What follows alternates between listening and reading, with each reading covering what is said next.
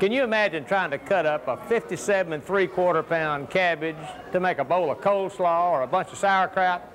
Pretty good job. You might not realize it, but a cabbage is a very nutritious vegetable. You might be surprised to learn that cabbage is a superb source of vitamin C for all of us, as long as you buy it fresh and don't cook it to death.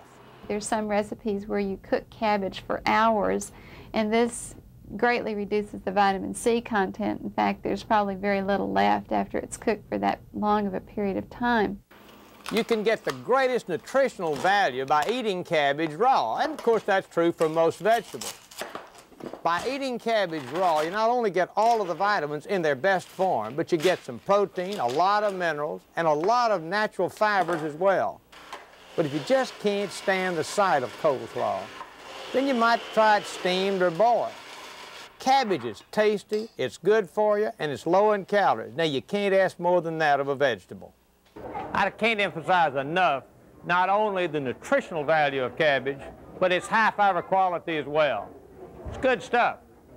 From the University of Texas Health Science Center at Houston, I'm Dr. Red Duke.